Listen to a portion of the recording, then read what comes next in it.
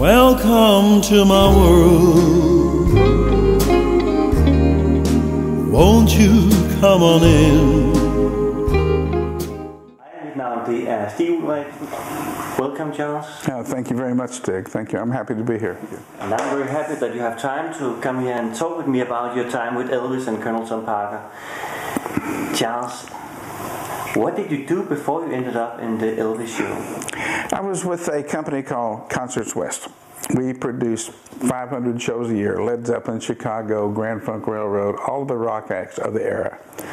And uh, then we became involved in the Elvis show. So, I mean, before I went with Elvis, actually, the night that I got a call to work with Elvis, I was out with Frank Sinatra. And to me, boring.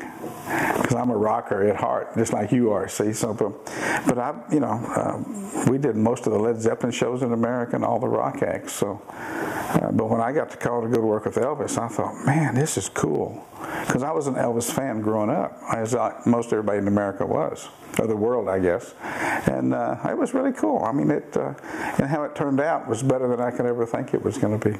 What were you doing together with uh, Frank Sinatra? Were you booking his uh, tickets for the show and preparing? We were the promoters, just as you're a promoter. Uh, uh, when I initially, the, the, my first contact was go to a, a venue in Alabama and put tickets on sale because in these days there was no ticket ticket master, no computer tickets. It was all hand done, one at a time.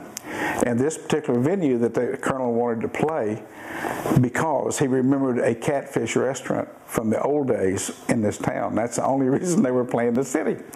But there was no box office staff. You had to go hire bank tellers and people like that and do it yourself. It was do it yourself. So, and I, with my company, I was the one that had the most experience in that market with, with the rock acts. So I went down, hired my bank tellers, put the show on sale, sold out in you know four or five hours. You can't sell out in 30 minutes like you do today because it's one at a time. And I had a phone number to call when, when I sold out. So I dialed this number and asked for Tom Hulett.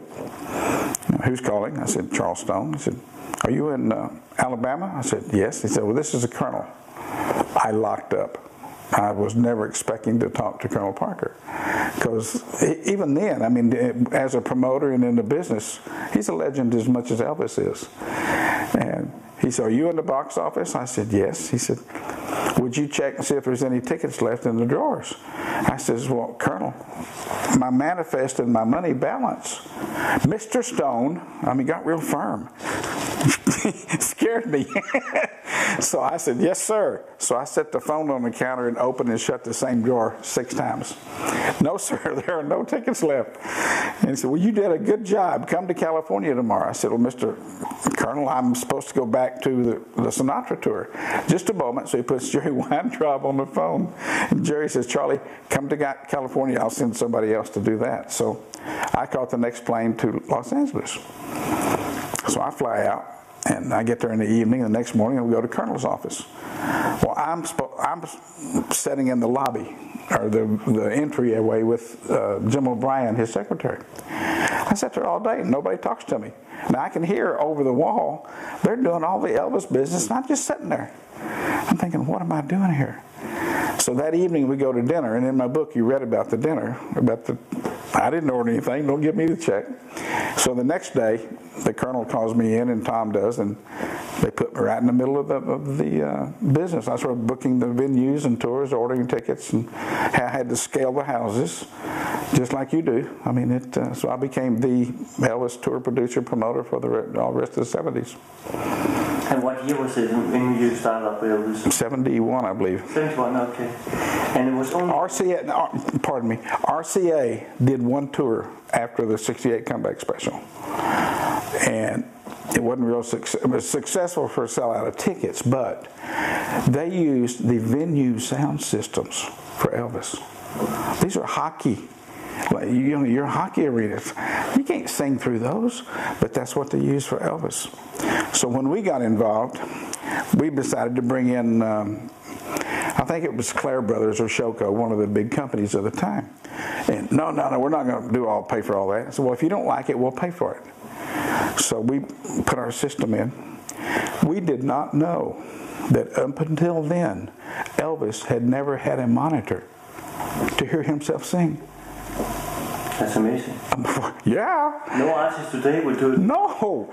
So when uh, I mean, Mr. Diskin argued it all the way. He said, "You're not going to use it." Well, thank goodness George Klein came in and he knew us from the rock shows and told Elvis, "You should, you should do that." So we did. And the first time Elvis started singing, and you could see his smile, you couldn't wipe off his face. He'd never had a monitor. And if you look at all the old stuff, there are no monitors out there. It's amazing how he could pull that off. Yeah. Nobody could do that today, you know. No. They would never go on stage, you know. No. But boy, that hooked him. He loved it, you know. So that was the first time he used a monitor. Was it a full-time job for the Colonel to handle Elvis, you know, every day? Because those, when he did all the movies, I cannot imagine there was so much to do for him. Yes, it was. I mean, the colonel was right on there watching after him at all times. Mm-hmm. Yeah. What, what would be a typical day in the office at the Colonel, you know? Like, Well, you have a seven o'clock breakfast. No matter what time you go to bed, you have seven o'clock breakfast. And everybody was uh, was together. In, in the colonel, in, in the colonel's little camp, you've got Loanne Park, Loanne, who now is his ex-widow, George Parkhill, and myself. Occasionally there would be Sam Thompson, Sonny, or somebody would have to come in, but mostly it was just the four or five of us, and uh, we would have breakfast, talk about everything in general, you know. Then we'd go up to the office and, okay, March, April, May, whatever you want to do, let's go to us. We want to do this and that. So I would get on the phone and start booking venues, and. Uh, we'd have it routed, and we'd be sure the sound company could do it. And uh, then I would start ordering tickets. Uh, because, but in those days, if we hadn't played the venue before, I had a calculator and I had a seating chart.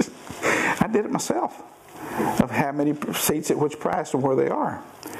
So this was a whole do-it-yourselfer in those days, and no cell phones. So that's what I would do with him most of the time.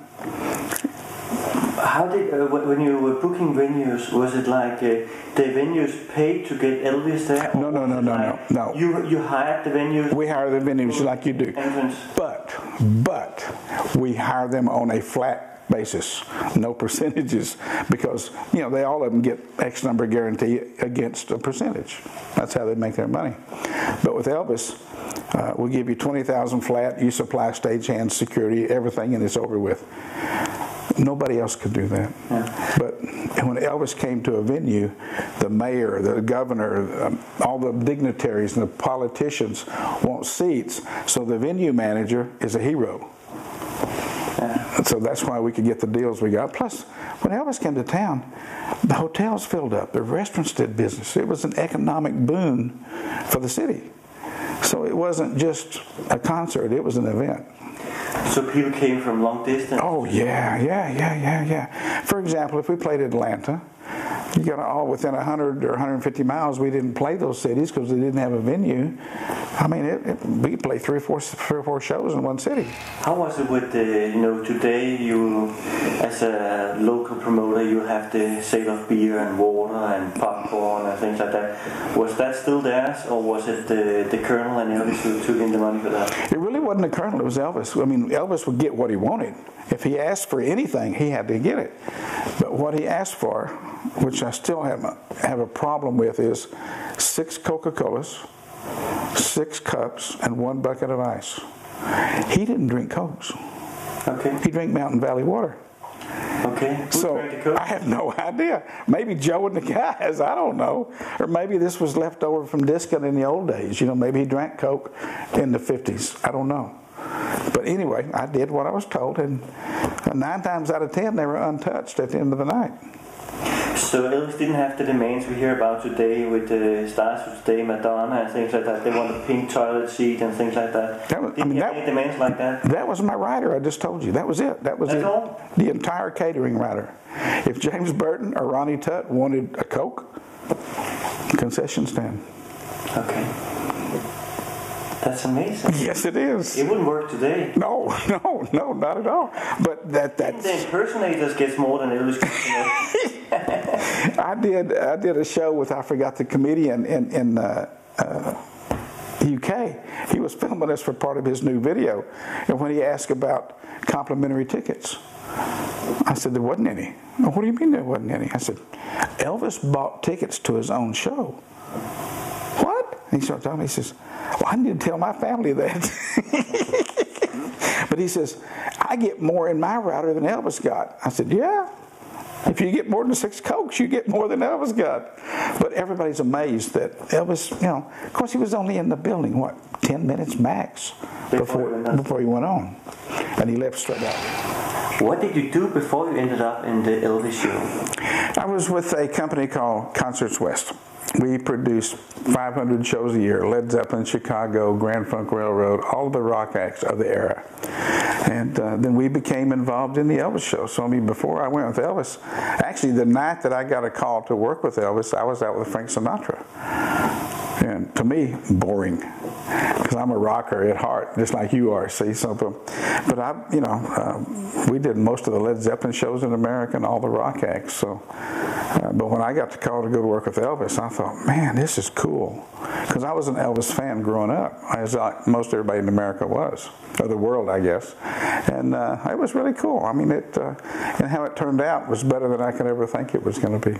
what were you doing together with uh, Frank Sinatra? Were you booking his uh, tickets for the show and make preparing? We were the promoters, just as you're a promoter. Uh, when I initially, the, the, my first contact was go to a, a, venue in Alabama and put tickets on sale because in these days there was no ticket ticket master, no computer tickets. It was all hand done, one at a time.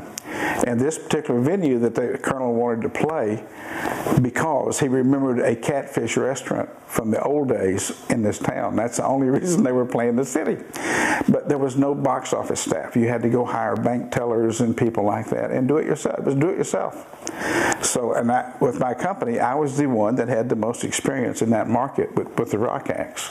So I went down, hired my bank tellers, put the show on sale, sold out in you know four or five hours. You can't sell out in 30 minutes like you do today because it's one at a time. And I had a phone number to call when, it, when I sold out. So I dialed this number and asked for Tom Hulett.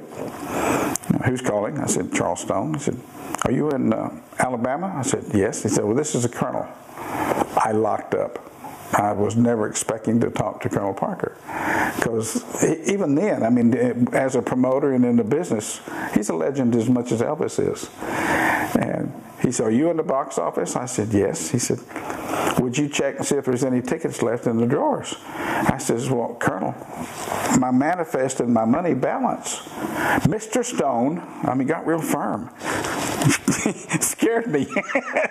so I said, Yes, sir. So I set the phone on the counter opened and shut the same drawer six times. No, sir, there are no tickets left. And he said, Well, you did a good job. Come to California tomorrow. I said, Well, Mr. Colonel, I'm supposed to go back to the, the Sinatra tour. Just a moment. So he puts Jerry Weintraub on the phone. And Jerry says, Charlie, come to California. I'll send somebody else to do that. So I caught the next plane to Los Angeles. So I fly out. And I get there in the evening, and the next morning we go to Colonel's office. Well, I'm I'm sitting in the lobby or the the entryway with uh, Jim O'Brien, his secretary. I sat there all day, and nobody talks to me. Now I can hear over the wall they're doing all the Elvis business, and I'm just sitting there. I'm thinking, what am I doing here? So that evening we go to dinner, and in my book you read about the dinner, about the I didn't order anything. Don't give me the check. So the next day, the colonel calls me in, and Tom does, and they put me right in the middle of the, of the uh, business. I started booking the venues and tours, ordering tickets, and I had to scale the houses, just like you do. I mean, it. Uh, so I became the Elvis tour producer promoter for the all rest of the '70s. And what year was it when you started up Elvis? '71, I believe. RCA, uh, pardon me, RCA did one tour after the 68 comeback special. And it wasn't real success. It was successful for a sellout of tickets, but they used the venue sound systems for Elvis. These are hockey you know, your hockey arenas. You can't sing through those, but that's what they use for Elvis. So when we got involved, we decided to bring in um, I think it was Clair Brothers or Showco, one of the big companies of the time. And no, no, no, we're not going to do all pay for all that. So well, if you don't like it, we'll pay for it. So we put our system in. We did not know that up until then, Elvis had never had a monitor to hear himself sing. That's amazing. yeah. No artist today would do it. No. So when uh, I mean, Mr. Diskin argued it all the way. He said, "You're not going to use it." Well, thank goodness George Klein came in and he knew us from the rock shows and told Elvis, "You should you should do that." So we did. And the first time Elvis started singing, and you could see his smile, you couldn't wipe off his face. He'd never had a monitor. And if you look at all the old stuff, there are no monitors out there. It's amazing how he could pull that off. Yeah. Nobody could do that today, you know. No. They would never go on stage, you know. No. But boy, that hooked him. He loved it, you know. So that was the first time he used a monitor. Okay, that's amazing. And it was only Elvis you worked with, nobody else, just Elvis. At that time, Yeah. if, if there was a lot of time between the tours, I'd go back and do some rock shows. Okay, Unless the colonel wanted me to go with him to Palm Springs or somewhere and start working on another tour, which happened more often than not. I was gone from home 200 days a year only with Elvis. With Elvis the colonel, yeah. But how was it to, to work with the Colonel? Now you have been admired him, you told me, but how was he to work with? Probably the it's if you wanted to get a education in our business, this is the best education I could have asked for. The colonel was a very, very smart man in, in the entertainment business. And all the misconceptions of he did this, he did that, you know, I don't pay attention to it because I was there and working with him. Uh, he loved Elvis. He loved Elvis Presley. He could have had anybody in the world. He could have had the Beatles, you know. They asked him to manage them when Mr. Epstein died. And he said, No, I only manage one artist at a time. Now, who in their right mind can turn the Beatles down in their heyday Yeah. when they were on top? But he did. So, uh, my education that I got from him is priceless, and um, it's it's paid off in a lot of ways for me. Was it a full-time job for the Colonel to handle Elvis, you know, every day? Because those, when he did all the movies, I cannot imagine there was so much to do for him. Yes, it was. I mean, the colonel was right on there watching after him at all times. Yeah. What, what would be a typical day in the office at the Colonel, you know? Like, Well, you have a seven o'clock breakfast. No matter what time you go to bed, you have seven o'clock breakfast. and everybody was conne- uh, was together. Uh, In, in the colonel, in, yeah, in the colonel's little camp, you've got Loanne Park, Loanne, who now is his ex-widow, George Parkhill, and myself. Occasionally there would be Sam Thompson, Sonny, or somebody would have to come in, but mostly it was just the four or five of us, and uh, we would have breakfast, talk about everything in general, you know. Then we'd go up to the office and, okay, March, April, May, whatever you want to do, let's go to this, we want to do this and that. So I would get on the phone and start booking venues, and. Uh, We'd have it routed, and we'd be sure the sound company could do it, and uh, then I would start ordering tickets. Uh, because, but in those days, if we hadn't played the venue before, I had a calculator and I had a seating chart. I did it myself of how many seats at which price and where they are. So this was a whole do-it-yourselfer in those days, and no cell phones. How did uh, when you were booking venues? Was it like uh, the venues paid to get Elvis there? No, no, no, no, like no, no. You you hired the venues. We hire the venues like you do. Entrance. But, but, we hire them on a flat basis, no percentages, because, you know, they all of them get X number guarantee against a percentage. That's how they make their money. But with Elvis, uh, we give you 20,000 flat, you supply stagehands, security, everything, and it's over with. Nobody else could do that. But when Elvis came to a venue, the mayor, the governor, um, all the dignitaries and the politicians want seats, so the venue manager is a hero. So that's why we could get the deals we got. Plus, when Elvis came to town, the hotels filled up, the restaurants did business. It was an economic boon for the city. So it wasn't just a concert, it was an event. So people came from long distance. Oh yeah, yeah, yeah, yeah, yeah. For example, if we played Atlanta, you got all within 100 or 150 miles. We didn't play those cities because they didn't have a venue. I mean, it, it, we could play three or four, three or four shows in one city.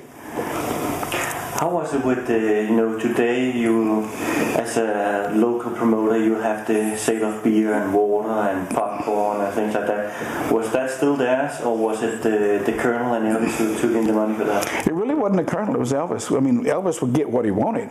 If he asked for anything, he had to get it. But what he asked for, which I still have a, have a problem with, is six Coca Colas, six cups, and one bucket of ice. He didn't drink Cokes.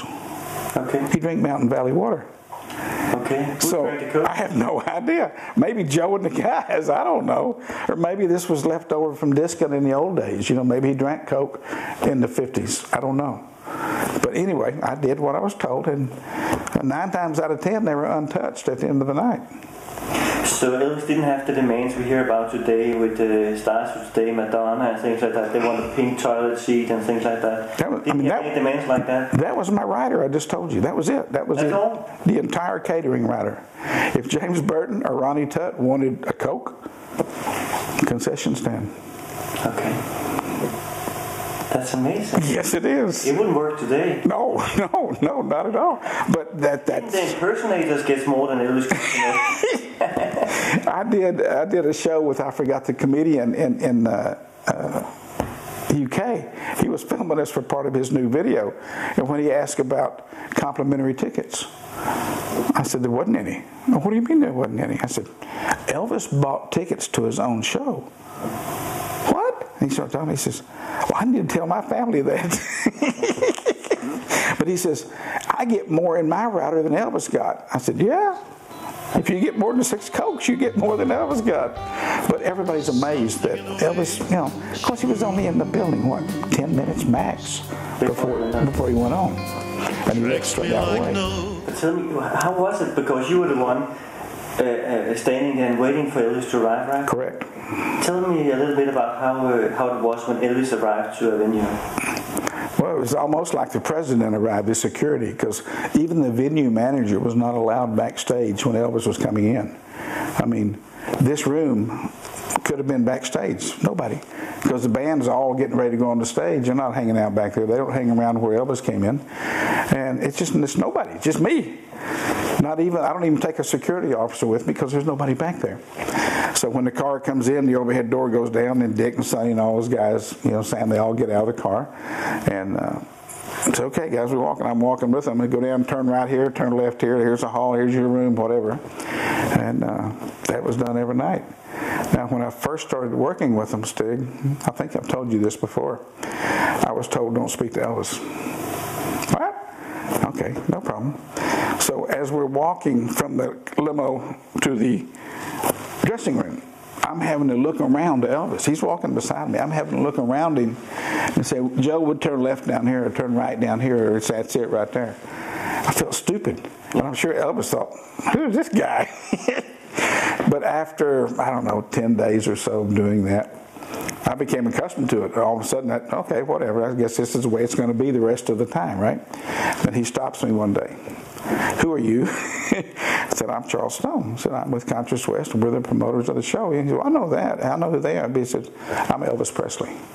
As if I don't know who he is. You know, I'm not El- I'm Elvis Presley. He said, I'm very glad to meet you. After that, we spoke and became acquaintances, you know. But he had to make the first move. How long did you have to walk from the car until this dressing room? different venues had different, you know, uh, some of them could be as much as the other side of this room. Some could be, uh, you know, 200 meters, Okay. depending on the venue where, where the room was. So there are no rules for how long Elvis should walk before he. No, no, no, because it, what are you going to do? You can't rebuild the building. Yeah. And Elvis was cool. He didn't care. He didn't, I mean, he was, like I say, he was happy to be there. And again, he didn't see much of the place actually when he No, arrived. No, can just the backstage. He, Was he dressed in his uh, Yeah, costume when yeah, he arrived? yeah, he- yes, no, he, he was dressed and ready because he only had a short time. Uh, because I've seen in uh, some of the concert, in concert, the last movies maybe Mm-hmm. that he arrived in some kind of training suit, you know, and then he's maybe changing in the dressing. He did that one because we were filming the TV show, Okay, and that was all for that purpose.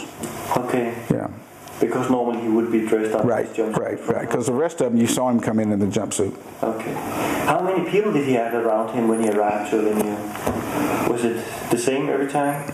You know, eight, nine, ten people, something like that. Were they all in the same limo or was there? in a- Oh no, no, no, no. They had a bus, A bus? the limo and a bus. Okay. So Elvis was traveling in the limo with Joe Esposito, Yeah, limo, or sometimes he travels in a police car. the police car. Yeah, Yeah, if if, if it, of police car, Yeah. handcuffed. no, not handcuffed. But I mean, if there wasn't a limo available, and some towns didn't have limousine service, Okay, the police chief would send his car with his cops, and they would carry him around okay. because we would hire them for security anyway. Yeah, okay. So- So, you paid the police for taking care of the security. That's how it is. Because in Denmark, where we are now, you cannot hire in the police for things like that. It's the state paying the police officers, you know. Hmm. So in that case, it's the Well, these were off duty, okay. So but still, I mean, they still get the you know. With Elvis, there are no rules. I mean, there are no rules. So therefore, whatever we needed, we got. yeah. Uh, I would always start with the police chief to hire Elvis's security detail for the hotel.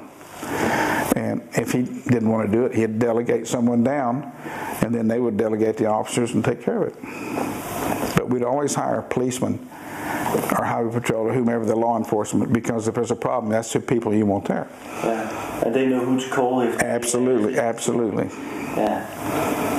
But the guys who was around Elvis, you know, his own bodyguards, they were taking care of his personal security, or Oh yeah, yeah, yeah. the police took care of the audience, or who, who Well, I had a different set of police in, in the audience. I had two sets of police, one at the hotel, Elvis's hotel, and Then I would have a different set at the venue to work around the stage.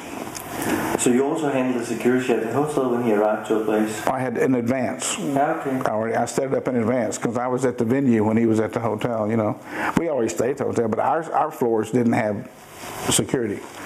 Now, when I'm traveling with the colonel uh, with Elvis and not the show, then I'm on the colonel's floor, and they have security. We have a guard where you can nobody can get down to our rooms. But um, it uh, it was like presidential. I mean, uh, dignitary security. I mean, Elvis. It was uh, it was a big deal. Very secure. I heard something about that he had the whole floor for himself, you know. Mm-hmm. Was, uh, was it always like that? Yep, yep. You couldn't share a floor because how are you going to keep? I mean, the police would be busy all night keeping people away, Yeah. and the hotels had no problem blocking off the rest of the rooms and not charging us because Elvis is in the hotel. Their restaurant is full, their bar is full, they're making a lot of money. He ever go down No. to restaurant? He always got everything brought to his room. He could he couldn't go down. I mean, he couldn't. He was a prisoner of his own fame. Yeah. But uh, it, even at the venue, the security around the stage was not for Elvis. He's got his guys right there. It was to keep the audience away, the girls, because if all the people robbed the stage and stood up on the scarf, the people in the front rows couldn't see. So the Colonel and Elvis always wanted everybody to be able to see the show. They were thinking of the fans. That's why they had all the security around the stage, so that everybody could always see the show. I would station a police officer in each of the aisles going down to the stage, facing away from the stage in a chair. Then I put them in front of the stage, four or five in front. And I'd tell them, I said, if you hear something going on behind you, don't turn around and look. Now, don't forget, I'm a kid. I'm 25, 26 years old. Long hair, you know, we don't, you see my pictures. We look like drug dealers. Oh, this cop, yeah, right. Okay. If you turn around, you're going to have a problem. They're thinking, I can handle these women. Man, it never failed. One of them's going to turn around and look when he throws out that scarf because he hears a commotion. Bam! There's 20 women run by him and just flatten him in the floor. It always happens because they don't listen, you know. But I said, I know what I'm talking about. Did you ever have time to have a real conversation with Elvis, or was it mostly just going from one place to another? The only time that I really had any, what you say, one-on-one conversation was when he flew into Fort Worth and uh, to see the Lisa Marie being finished out. Uh, my wife and I met him and Sonny and Linda Thompson, just the five of us, at the airport. And we were there for a couple of hours, and just you know, he was in the plane, just loving. I mean, it was 100 degrees that day on, in in Texas, and we were dying. But he had his long sleeve, and like he always dresses. But they had stripped out the entire hull of the airplane, and wires hanging everywhere. And the guy was telling, the architect was telling him where the bedroom was, where the couch, you know, showing him the thing. He was like a kid in a candy store and just loving it, man. I love this. What do y'all think? What do you think? Says, well, you're looking at wires and aluminum. What are you supposed to? Oh, that's going to be great, Elvis. but uh, Elvis, I mean, he truly, truly was a nice person. Everybody says that. Absolutely, absolutely. And I've worked with a lot of big stars, but Elvis was the nicest one of all. It's the same here if you hear some interviews with other people who was around him, also other stars, saying that he was a very nice, uh, genuine person. You know. If he was introduced to you, he would call you sir. Yes, sir. Yeah. No, ma'am, and yes, sir. But don't you use that a lot on the States actually? When I've been in the States, I have noticed that, especially in the Memphis area, you know, everybody says sir or man or things like that. It's, uh, it's He that was- grew up, you know. He grew up with that, and he it never and that never left him. I mean, he uh, he always did that. And stars, movie stars, wanted to meet Elvis. Um, one time in uh, Anaheim, we didn't play Los Angeles. We played Anaheim, which is what 50, 60 miles down. My I leave word for all my security. Nobody's backstage. Blah blah. And one of these guards come up to me and says, "You need to come tell this uh, person that they can't park the limousine backstage." I said, "I don't have to. You tell them. It's your job." He said, "I'm not going to do it." I said, "Why not?" He said, "Well, they're parked right outside the door." He said, "They asked if they could park backstage." I said, "No." Is it Elvis? I said, "No." Is it the Colonel? Then it's no. He says, "Well, you're going to have to go tell him because I'm not going to tell him." I said, "Well, why not?" He said, "It's Elizabeth Taylor." I said, Well, I'm not going to do it either. but I had to. So I walked out the door. She rolled down the, her window in the back on her side, and it really was her. I'm thinking, oh, God. You know, she's, I can't tell her no, but I had, I said, Miss Taylor, I said, as much as I would love to let you park back here, if I did, I would lose my job. She says, Well, I wouldn't want you to do that. I said, But thank you very much, and we'll go park in the front. I mean, and she, Elizabeth Taylor, I mean, she's another icon, you know. Yeah, but uh, she handled it so cool that it took all the pressure off of me because, But she was in anyways. He could send the chauffeur up front, you know, and he could pick her up afterwards, you know, or what. oh yeah, yeah. But I mean. I don't expect that she has to go back and go in. but she she had to go through the front door to her seat. She had? Oh, I didn't let her in. Okay. Oh yeah. So she actually have to lift Yes, yes. My God.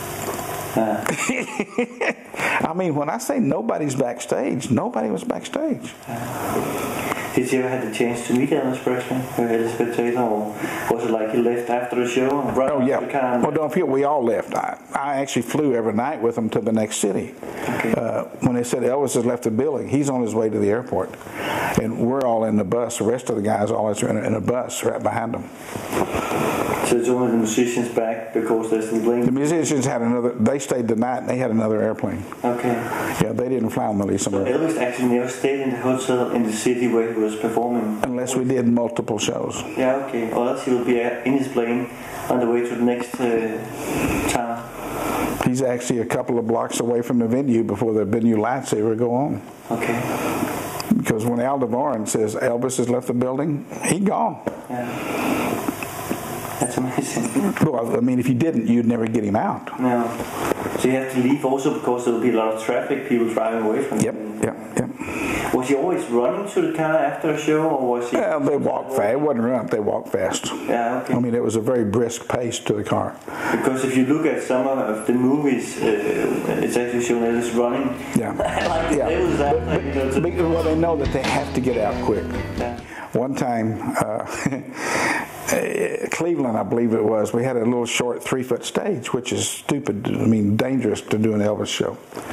And at the end of the show, you know, I get up on the, we all get on the stage, put on one knee. You've seen the pictures, you know. And Elvis puts his hand on our back when he shakes hands at the end. And his hand on our back is to keep someone from pulling him off the stage. Well, I'm on the end this time. And once again, the stage is three foot. And I see it over here. This lady got jumped up on the stage. She's maybe 60, 65 years old. A grandmother, I called her.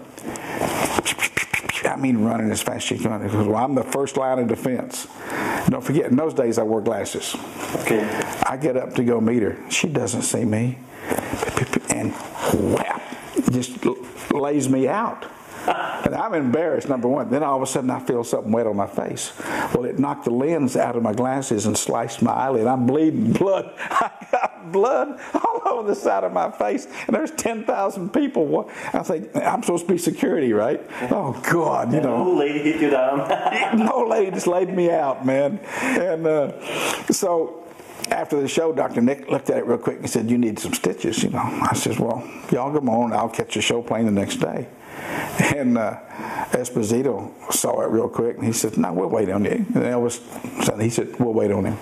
And they waited at the airport for me to get my eyes sewed up and to go to the next town. And so Tom Hulett, who I worked for, had the gift. He was a very slick talker. There just happened to be a hospital between the airport and the venue. We roll into the hospital.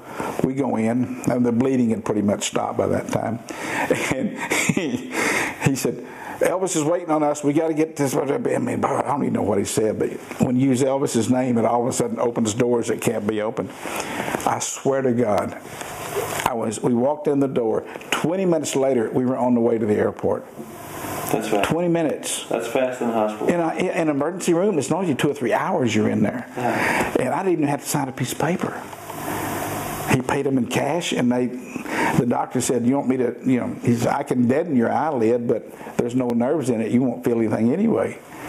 I says, "Well, if you think I'm not going to feel anything, but if I do, you can deaden it." No, sweet. He put that over two stitches, I think two or three stitches. I mean, I was gone.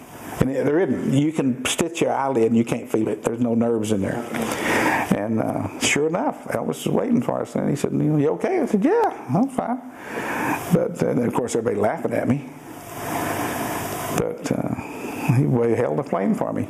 That's nice of him. Yeah. He goes, "Well, I'm going." You know, he had to find. You can you can fly tomorrow with the show. That's you know. what most I would have done. I think. You know. But see, I had to be at the venue by 10 o'clock every day for the setup, just to be sure everything, go over all the security, what the ushers do.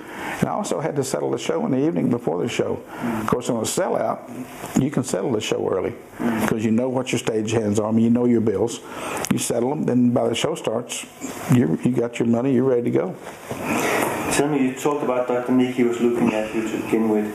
Was he everybody's doctor on the show? Yeah, sure, absolutely. He, he was our go-to guy. Yeah, it, it's what everybody forgets sometimes when they talk about how many drugs or things like that was bringing this actually that he had to take care of everybody on the show. It was not only for Elvis. The, the Not drugs. I mean, but if someone had a co- if know. someone had a cold or someone, you know, an infection or something, he, he was the guy. But uh, yeah, he took care of everything, everybody. Mm-hmm. and he took the stitches out of my eye three or four days later. Yeah.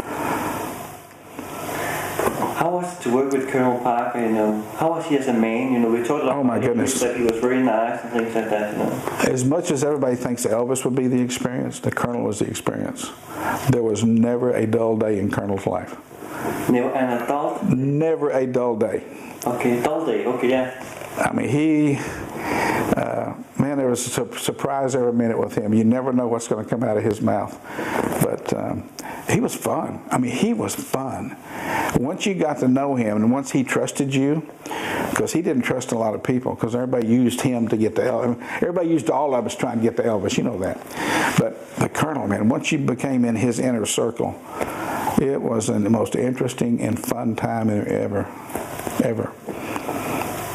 Did he make a lot of jokes, or how was? Oh yeah, jokes and uh, but learning, just watching him maneuver through life, uh, how he handled people. He could take the most complicated scenario and make it so simple, and you think, why didn't I think of that? Can you come up with some kind of example? I give you a good example. One day, Tom Hulett decided that we wanted to put a light show with Elvis, like we used them with Led Zeppelin, you know, with all the moving lights and stuff. so I said, well, okay, we're in Vegas. He said, let's go upstairs and let's pitch that to the colonel. I says, well, Tom, I'm still a kid. I said, you know, you're you're, you're my boss. Now you better pitch it. Will you come with me? I said, oh, I'll come with you, but I don't think it's good for me to be pitching that because I'm the one that's out there doing all this stuff. I mean, I knew what was going to happen. So okay, we go up and we're sitting there. Then Tom finally brings it up. he said, excuse me. He said, Colonel. You know, we're doing all these Led Zeppelin shows, and we got these lights that just move, they shine. they spotlight different people. You can do moods. You can do changing colors. He went through the whole scenario, and the colonel's got his cigar then. He says, "What do you think about putting these with Elvis?" Colonel's thinking, and I could see the little frown on his look. He said, uh, "Okay." He said, "How many stars are there in Led Zeppelin?" real slow and it's I mean purposely slowly taking his puffs. And the colonel said, "Well, there's six people on stage." Okay. Mr. Stone, not Charlie. I said, "Oh God, now I, I have nothing to do with this, right?" Mr. Stone. Uh, many lights do you use for Elvis? I said, well, Colonel, you, what the venue has is either six or eight. If they have four, I bring four more in. We always have a minimum of six or eight Super Troupers. Real slow. I mean, I'm, I'm, thinking, man, it's coming. It's coming. He sat there and said, Mr. Hulett, we have one star, right? He looked, Tom said, well, yeah, we got a band too. You know, he's thinking of everybody else. Mr. Stone, with all of your lights, when Elvis comes on the stage, can everybody see him? Well, yes, sir. Mr. Hulett, if everybody can see our one star, why do we need more lights? How do you argue with that? Yes. How do you argue with that? Oh my goodness! I mean, I'm thinking, oh my God, only only the colonel could to dissect it and come up with that. Yeah. And it was not argued anymore about lights or anything. Like End of conversation. Yeah. I mean, even Tom, how do you argue with that? Yeah. If everybody can see what you're using, why do you need to change it?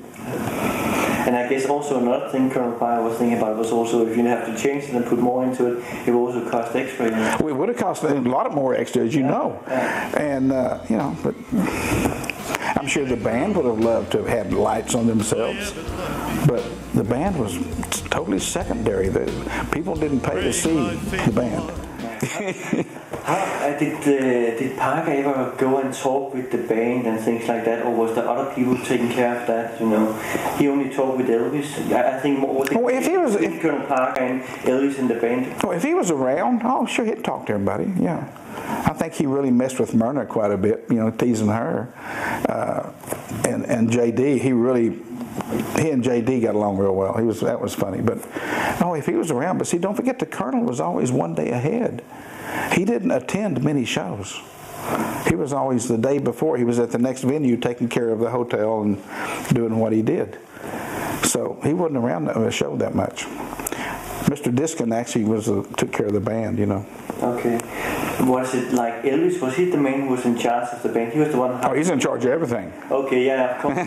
but was he the one who was also uh, firing people if he needed a new bass player or whatever is needed? Yeah, but as you know, he didn't do that. No. And the, the only reason that uh, But there wasn't change, you know. I, I know Jerry Scheff was not playing all the time. I don't know if it Right. was Jerry Scheff yeah, Duke Bardwell came in, I think, at one time. Yeah. But, but was Elvis who was in charge of the band? Was Yeah, but don't forget, some of these guys had other commitments too. Yeah, okay. Is the reason they went through uh, what three keyboard players, I think. You know, they, David Briggs, Tony Brown, and Glen D. But Elvis didn't have much to do with that, or, or He had oh, the band was all his. okay, His and uh, Mr. Diskin was his buffer. okay. But uh, oh yeah, the band. I mean, that was that was Elvis's deal. But I'm just thinking down to the detail. You know, who was the one who was uh, talking uh, salary with them and things like that? Well, Elvis talked the salary, but then after it was over with, and it was all we paid the salary. You know, Okay. So he was the boss of he was the boss. Yeah, absolutely. How, how is your the idea about how was the connection between Colonel and Elvis? You uh, know, have you any examples of how they work together? You know, were they holding meetings or were they talking on the phone? What No, I think that most of it was telephone. Every once, I mean, the colonel would meet Elvis every night at the airplane when he landed after the show. Right up there, right meet him every night. Have a little. Every conversation he had was private. Nobody else was ever allowed around. So nobody knows what they talked about. Uh, but no, the colonel was right there every night to meet Elvis and have a conversation. But any other time they need to talk, they pick up the phone and talk. Okay. Because you know Elvis, don't forget, Colonel lived in California. Elvis lived in Vegas, uh, Memphis.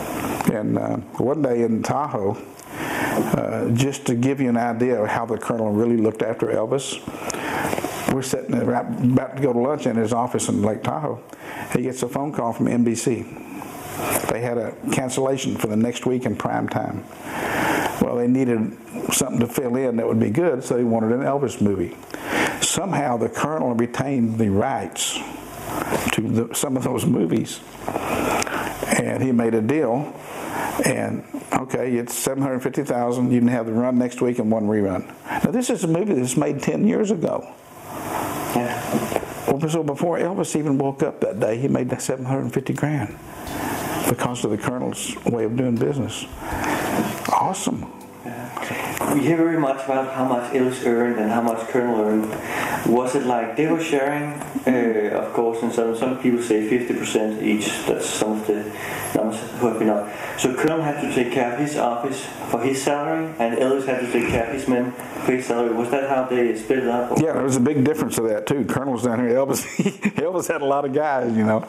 But nonetheless, I mean, hey, you know what? It's his life. He can do what he wants to with it. It's his money. Uh, but did the Colonel make 50%? No, 25%. But there's been a lot about here earned 50% for all. Well, you know what? Let them go find out where they got that word. You know, there's all our rumors around. I saw the management contract at one time. But now let's go back to the last two or three years of his life. They dissolved their management contract, management artist, and, and formed a new company where they became 50-50 partners. Okay. But that was, that was only in the end. That was only the last couple of years.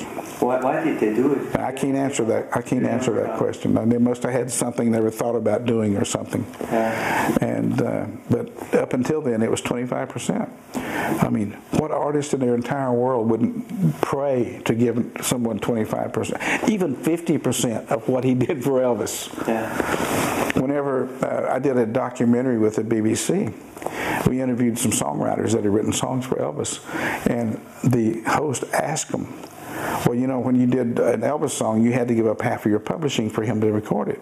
Well, yeah. And they said, "Do you?" How do you feel about that? And he said, Well, let me explain something to you. Half of an Elvis song is better than 100% of anybody else's songs. Uh, you know, so we're happy. We have no qualms about that whatsoever. So we're still making money off of our 50%. When Elvis died, uh, did uh, what did Colonel Tom Parker do? Uh, did he get a new artist to handle, or what? No, no, no. He advised a lot of artists, but he did not. He didn't have to financially for, for one thing, but I don't think he would really want to handle anybody else. I think for two reasons. Uh, there's only one Elvis. There's never going to be another Elvis. So if he handled whomever it may be, they would expect him to do the same thing again, which it can't be done. I don't care how good a manager you are, there's only going to be one Elvis. So you're going to have another star of that statue? I don't think so. I do know that Michael Jackson asked him for a lot of advice a lot. And I do know that Celine Dion and Renee, in their beginning, really relied on him helping them. So he did help a lot of artists. And of course, as you know, Rick Nelson, he gave him, he whatever Rick wanted, he helped Rick a lot because of Greg McDonald, who was uh, he was the air, the colonel's. He fixed the colonel's air conditioning in Palm Springs and Elvis's, and he wanted to get in the entertainment business. So the colonel hooked him up with Rick Nelson, and Greg did an awesome job for Rick. Once again, the colonel is his mentor, like he was mine. So he helped a lot of people.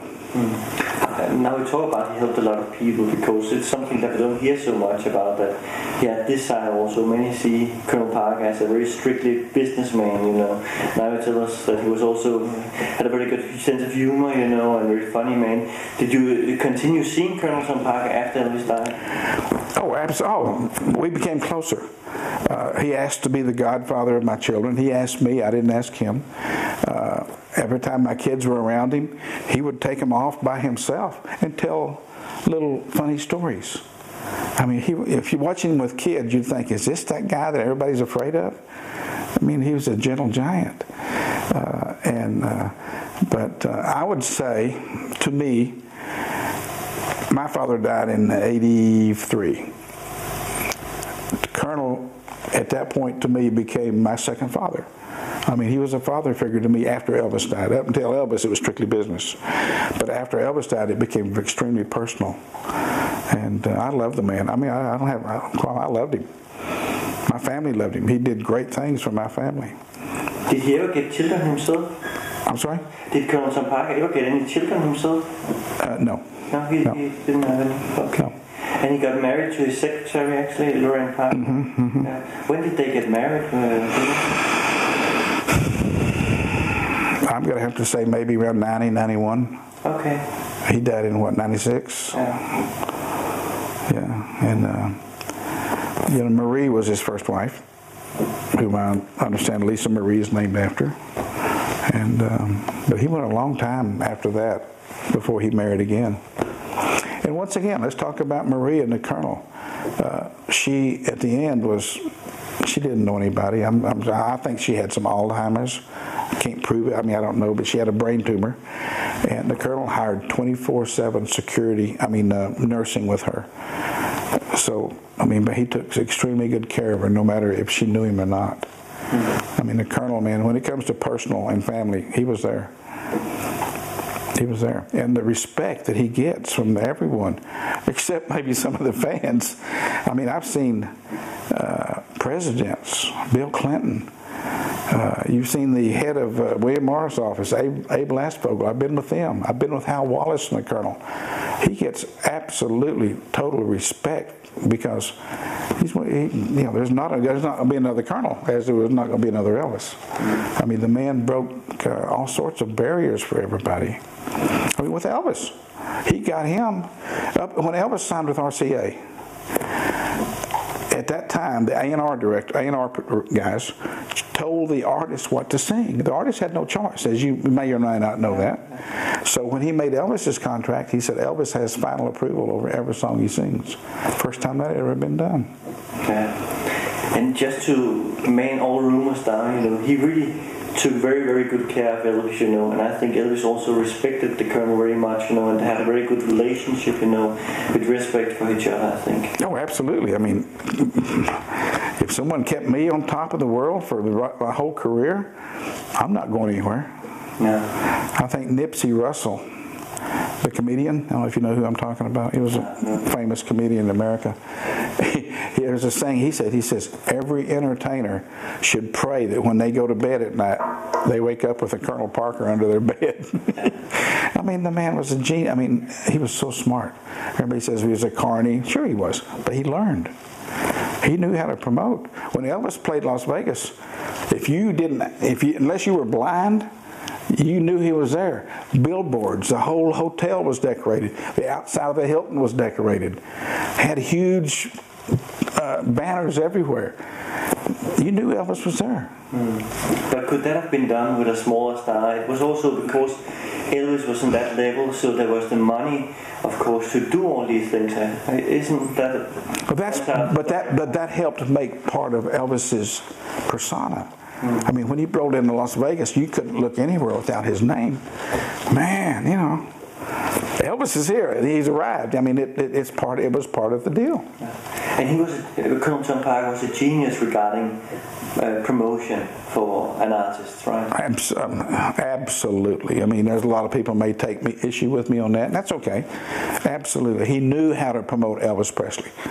But you could also see, if you look at some of the old pictures with Colonel Tom Parker, how he was sometimes dressed up for this occasion, you know, so everybody had a picture of what is Well, look, there's one picture of him taking a broom and sweeping while Elvis getting the stuff out of Elvis's way. I mean, like I say, he, he was funny. Yeah. He, was, he had the coats, the coats. I mean, you're right. He dresses up and, and does things. I mean, that was a colonel. You can't you can't help but love him. And at the end of the day, guys, Elvis could have left him at any time he wanted to. He didn't want to, you know. And of course, they had arguments. Like in every marriage, you have arguments, and of course, you cannot agree on everything, you know. And there are stories that Elvis once fired Colonel, but then hired him again, you know. Sure. And and um, and that's probably something that will happen for everybody working close together, like Elvis and the Colonel did, you know. Absolutely. Well, let's take any artist in the world. Well, George Strait stayed with his manager from start to end. There's not many that started there with the same manager they started out with. Do you know how it was? You know, was it Elvis who always told the Colonel, "Well, I like to go on tour now. I Yes, to on tour." absolutely, absolutely. So it's not the Colonel saying, "Well, you have to stay on tour." Nope, nope. There's also once a story about that Barbra Streisand wanted him to play in a movie, and uh, the colonel said no. A Star is Born. Yes, that's one. The colonel didn't say no. Do you know the story behind it? Yes, I do. Can you tell us? yes, I will. and it, once again, he takes a very complicated issue and makes it simple. And he told Elvis, "You can play the role if you want to play it, but think about just think about this: Jon Peters is the producer and the director, and he's Barbra Streisand's husband. So when it comes time to bill the best star in the movie and do the headline billing, think about who he's going to put first." Oh, well, I don't want to do that. That was Elvis's choice. And it was a smart choice because Barbra Streisand should not have been headlined over Elvis Presley. No. But it would have happened that way if he'd done it. When Kris Kristofferson did it, you didn't see his name above Barbra's, did you? No. So Elvis made the right. I think I, you know, people said we should. Well, I think he made the right choice because why should he be under Barbra Streisand? He was a bigger star than her. Yeah. But couldn't that have been written into the contract that Elvis would be the head? Oh, they wouldn't have done it. Okay. I mean, Jon Peters was her husband, and the, he was his movie. He has to live with her. Do you know? Of course, it was before your time. Do you know if there was any uh, any time uh, an argument or talk between Elvis and the Colonel about his movies? Because if you hear Elvis uh, later in life, he jokes a little bit about his movies he made. But at any time where Elvis said, "Well, I wanted to get out of these movies," you know, where he just had to continue because of contract, or or what was the reason he continued doing all these not so good movies in my eyes? I can take it on my own, but. Do you know what's the story behind this? well, Elvis wasn't touring. Elvis had to have income. And at the time, he was the highest paid movie star of the time. He got a million dollars a movie. That's a lot of movie. That's a lot of money back in those days. And he didn't have to go on tour. He just had to stay on the set. That was Elvis's choice. And Elvis approved every script. The Colonel never once made. First of all, you can't make Elvis do anything. Okay. I don't care who you are. You're not going to make Elvis do anything he didn't want to do. So he, uh, Colonel, and uh, even with Hal Wallis that night that I had a meeting, uh, Elvis approved every script himself. And they also said that he memorized everybody's lines, not just his. He knew the whole everybody's role in lines when he went to he was that into the movies. But back to what you're probably going to ask me shortly, the dinner I had with Colonel and Hal Wallis. You know who Hal Wallace is? He was the, okay. producer of the- I just said, you know, once again, I'm 25, 26 years old. I said, Mr. Wallis, I'd like to ask you something. I mean, I, that's one of the few times I opened my mouth that night. I said, you know, Elvis never did a, uh, serious role. I said, was there ever a script presented to him that he could have been in a serious actor? He said, well, Charles, he said, if we had a script of that nature, we couldn't have presented it to Elvis. I said, why? He said, no studio would ever finance a movie if Elvis didn't sing in it. He said, you got the biggest star in the world. Why would you not use his talents? Good point. Yeah. Good point. He said, you know, he- the, the studios wouldn't do the movie. Yeah, it's amazing. That's another way to look at it, of course. But he, of course, did Charro where he was only singing the, what is it called, the intro of the title song. Mm-hmm. Title. But once again, that's a million bucks in his pocket. Yeah.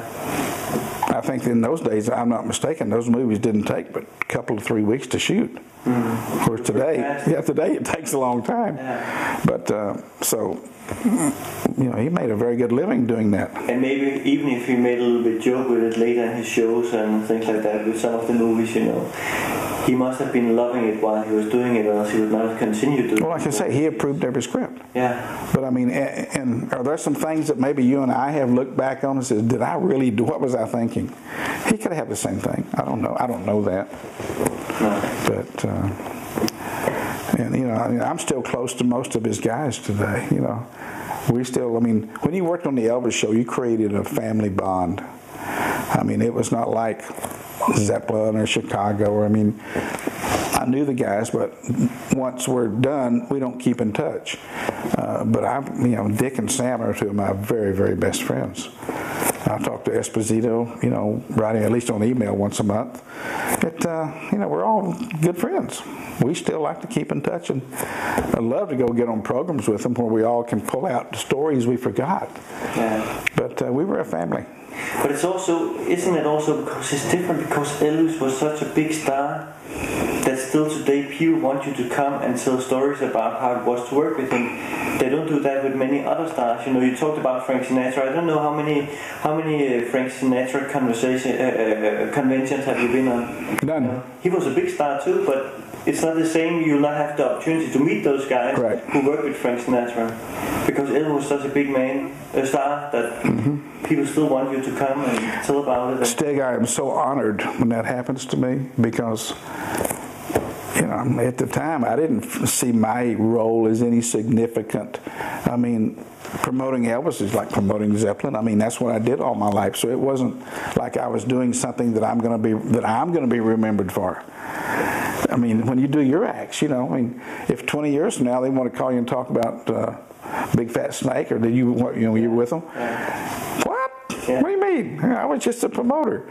But uh, I'm honored, and I love to talk. You know, my wife is the one that made me do the book because she says what you did with the Elvis show, nobody else did. I wasn't a bodyguard, and so I did all the business for the tours. You know, and everybody had a role in it, you know. And, absolutely. you know, and, and a point of view to look at things. You saw things from different angles. Mm-hmm. You know, I don't know And- if that's right English word, but And all my neighbors, all my neighbors, I would leave for 30 days, 20 days at a time and come back. And they probably thought, man, because I never told anybody what I did. I did with the rock acts, but I didn't tell them I was working with Elvis because if we ever worked the area, my phone wouldn't stop ringing for tickets. Uh, one day in, I don't know, September, August, or hot in the summertime, we did our last show. So I came home the next day. I had to mow the yard. And it was like 100 degrees. I'm out there mowing. I got nasty dirt and hot. I'm thinking, man, last night I was with Elvis Presley and, and so-and-so. Something's wrong with this picture, you know. My wife said, shut up and mow. but uh, we're all human. We're all human. Do you think Elvis would? What do you think Elvis would have said if there were still people talking about him now so long time after he died? Do you think he expected that things would go on so long time? No, no, yeah. Once again, Elvis, in my opinion only, I mean, everybody has different opinions. I don't think Elvis knew how big a star he was or how big of an influence he had on people or the world. I don't think he, I really don't think he knew that. Do you think Colonel Tom Parker uh, would have thought it would go on so long time? Maybe, maybe. I don't mean the colonel. I know. I know he wasn't prepared for it to stop when it did, but uh, every star does have an end somewhere. You know, maybe you continue working clubs, but if you can't fill ten thousand seat arenas, it's basically over. So, and you know, not many stars can go their entire life doing that. So, I think somewhere somebody thought that eventually it will, the run will be over, but who knows? Yeah. And today, after Elvis and after a long time, you started working with Elvis again in some way with your own Elvis impersonator. Oh my goodness, yeah. I mean, you could have bet me my house that I would be doing that. You're going to be. I said no, no, no, no. But uh, the situation came up, and I got to be honest with you, Steve, I'm glad I did. Uh, I had what I consider one of the best Elvis tribute shows in the world. But more than that, it put me back into the Elvis world, and you know, I get. I mean, people pay me to come talk. Life is good. My wife says, "I'll pay you to shut up." but uh, no, I love sharing my stories. I really do because uh, mine are different than all the other guys. Uh, because I did something that they didn't, you know, didn't do. I did all the work. When I wrote my book, uh, the publisher, he said, "What about you?" He came to my house, looked at all my paperwork. You know, I've got letters from hotels confirming that Elvis is suite, how much we paid the cops. I mean, I have all my documentation. He said, "Oh man, the people love that." I said, "It's boring."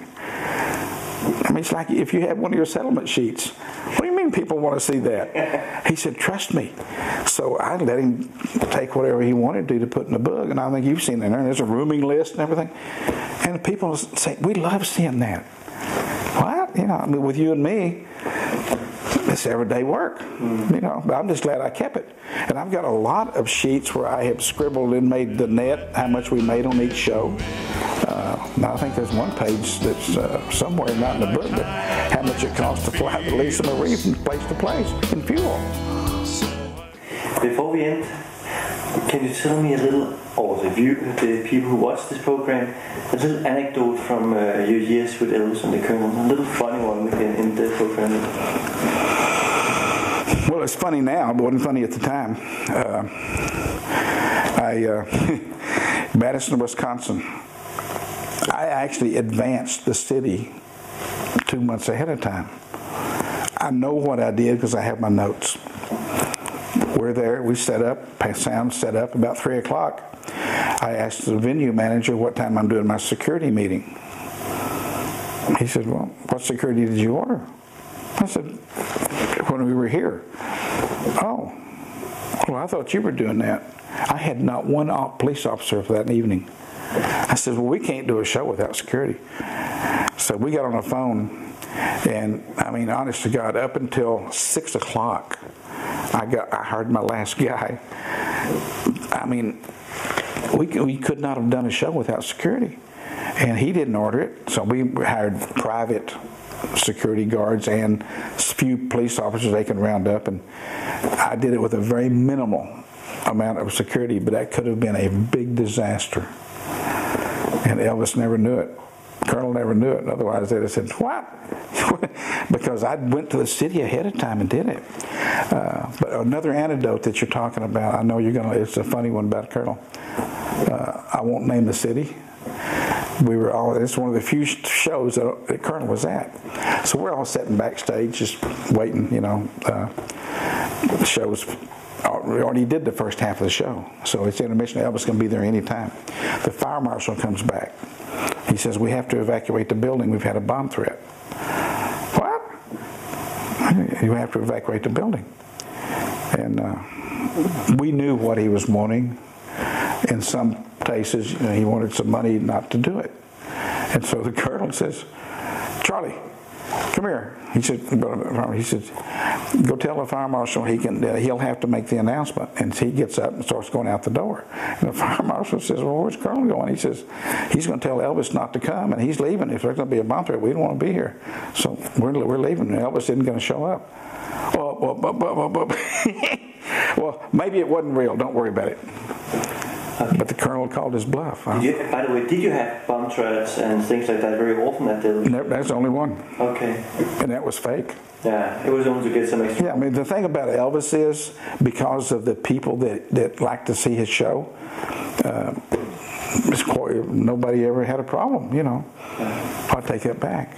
Oral Roberts University. You know who I'm talking about? The televangelist on TV. Okay. He's a preacher who has a TV show. Yeah. And uh, we, he owns a uh, uh, university. We played his venue. The afternoon of the show, there was a shooting out front. Okay.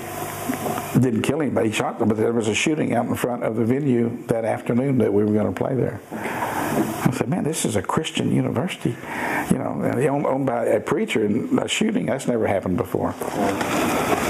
That's fantastic. But thank you very much for being a part. Oh, it's my pleasure. My pleasure. And uh, who do I send the who do I send the bill to? What? no, it's my pleasure, Steve. Thank you very much. And we've been friends a long time. I appreciate it very much. Og det var så slut på programmet Tro på det. Jeg håber, I har nydt det, og jeg vil gerne sige tak, fordi I kiggede med. Welcome to my world. Won't you come on in?